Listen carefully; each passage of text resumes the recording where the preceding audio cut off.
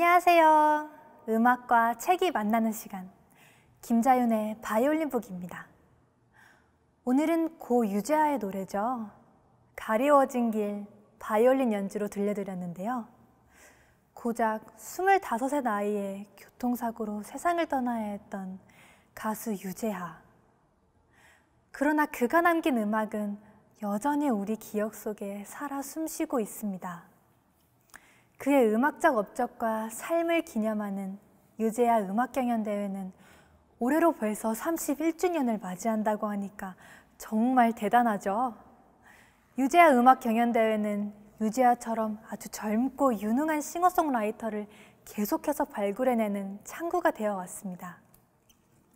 가장 필요한 방식으로 가장 의미 있는 기념 방식으로 유재하를 기념해온 유재하 음악 경연대회. 저는 그런 점에서 유재하 음악 경연대회야말로 제대로 된 기념의 방법이라고 생각합니다. 오늘 제가 가수 유재하를 떠올리게 된 것은 바로 이 책 때문이었습니다. 고려대 사학과 최호근 교수가 지은 기념의 미래. 바로 잘못된 기념의 방식을 돌아보고 나아가 제대로 무언가를 기념하기 위해서는 우리가 어떤 고민을 해야 하는지 제시를 해주는 책인데요. 우리 사회에는 기념이라는 말을 의례적이고 또 형식적으로 쓰이게 만드는 정말 진부하고 쓸모없는 기념 방식이 넘쳐납니다. 여러분 역시 문득문득 그런 느낌을 받은 적이 있으셨을 것 같아요. 가령 이런 부분들 때문이죠. 동작동 국립묘지 중앙의 탑은 얼마나 높을까? 31m다. 419 묘지탑은 21m. 518 묘지탑은 40m다. 마치 높이 쌓기 경쟁이라도 하는 것 같지 않나? 안장된 분들의 희생의 의미나 희생의 넋을 위로하는 우리 마음의 무게가 탑 높이와 비례한다고 생각해서일까? 사실 저는 이 부분이 정말 공감이 됩니다. 정말 탑 높이가 높으면 추모하고 기념하는 마음 역시 높아지는 거라고 생각하는 게 아닌가 하는 의심이 들기도 했는데요.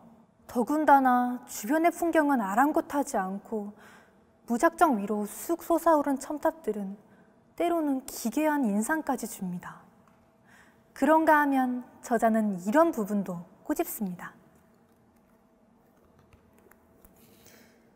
세종문화회관에서 열린 광복절 기념행사 무대에서 소년소녀 합창단이 태극기를 흔들며 신독립군가를 부르는 장면을 TV 화면으로 지켜봤다. 이상했다. 밥도 아니고 죽도 아닌 스파게티도 아니고 잔치국수도 아닌 정체불명의 음식을 맛보는 기분이었다.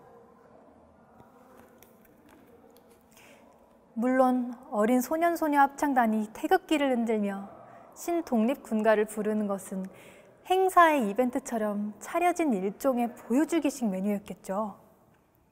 하지만 함께 공감하고 또 함께 소통하는 경험의 맥락 없이 등장한 이 합창단의 공간은 오히려 공감의 연대를 해치는 어색함만을 키우지 않았을까 하는 생각이 듭니다.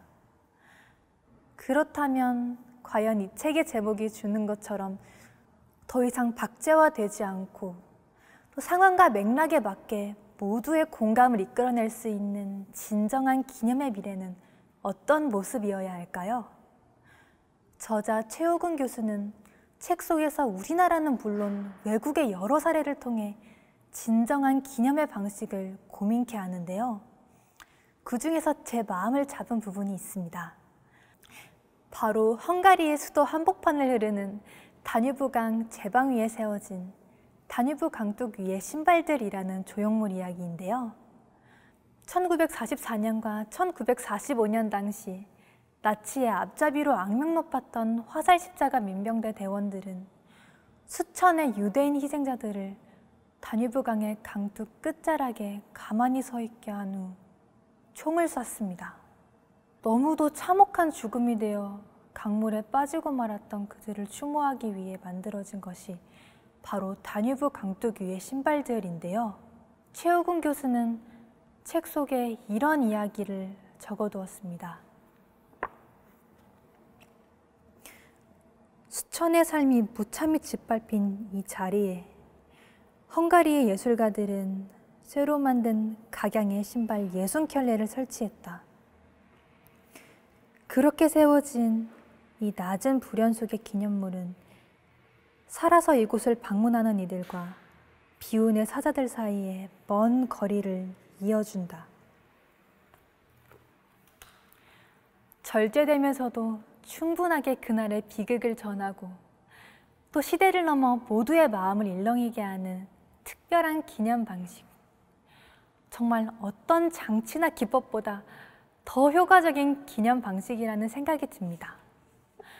이 책에서는 역사적 사건을 기념하면서 고통스럽고 잔혹한 모습을 그대로 보여주려는 방식에 대해서도 질타를 가하는데요. 가령 희생자의 유골로 탑을 만들거나 진열장에 넣어 보여주는 캄보디아의 기념 방식이나 서대문영무소 박물관에서 울려 퍼지는 고문당하는 애국지사들의 비명소리는 과거를 현재적으로 기억하는데 오히려 걸림돌이 된다고 지적합니다. 그 대안으로 최우근 교수가 주목한 것은 바로 이스라엘 예루살렘 언덕에 자리 잡은 홀로코스트 박물관인 야드바셈인데요. 책에는 이렇게 소개됩니다. 600만 명에 이르는 동족의 희생을 추모하는 이스라엘 예루살렘의 야드바셈에서 150만 명의 어린이의 무고한 희생은 주인 잃은 목재나비 장난감으로 재현된다. 이 동시대 지구촌의 경험들은 우리에게 한 가지 묵직한 교훈을 준다. 죽음을 꼭 주검으로 재현해야 하는 것은 아니다. 저에게는 정말 공감 가는 대목이었습니다. 시신과 유골은 그 자체로 아주 소중한 의미가 있는 기념 자산임에도 분명합니다. 하지만 그 자체가 기념의 모든 주체가 되어버린다면 오히려 많은 이들은 자신의 내면에서 진정 공감되어 울려 퍼지는 목소리를 들을 기회를 잃을지도 모릅니다. 어쩌면 이 책 기념의 미래가 진정 만들고자 하는 바람직한 기념 문화는 바로 더 이상 보여주기식이나 혹은 과거의 유물 같은 대접을 받는 게 아닌 여전히 기억을 살아있게 만드는 그래서 더 많은 삶들의 마음을 움직이는 그런 문화가 아닐까요?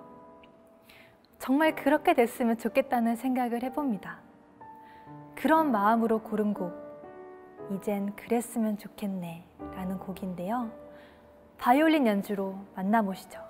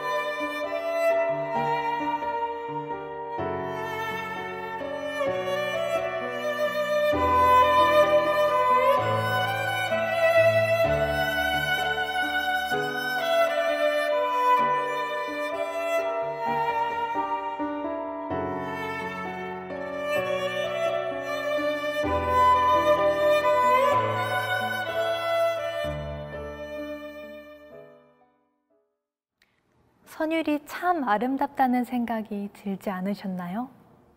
이 곡에 나오는 가사 중에 이런 부분이 있습니다. 소중한 건 모두 잊고 산 건 아니었나. 이젠 그랬으면 좋겠네. 그대 그늘에서 지친 마음 아물게 해. 소중한 건 옆에 있다고. 시간이 지나도 정말 소중한 것은 우리 마음속에서 잊지 않게 울림과 공감을 갖도록 해주는 것. 그게 바로 기억의 의미인 동시에 우리가 놓치지 말아야 할 기억의 미래가 아닐까요? 오늘의 책, 고려대학교 출판문화원에서 펴내고 고려대 사학과 최호근 교수가 지은 기념의 미래. 무언가를 어떻게 기념하고 기억할 것인지에 대한 생각을 갖게 만들어주는 책이었습니다. 꼭 한번 읽어보시길 바랍니다. 그리고 김자연의 바이올린 북도 늘 기억해 주시고요. 잊지 않고 구독과 좋아요 눌러주세요. 그럼 다음 시간에도 좋은 책과 음악으로 여러분과 함께 하겠습니다. 바이올린 북!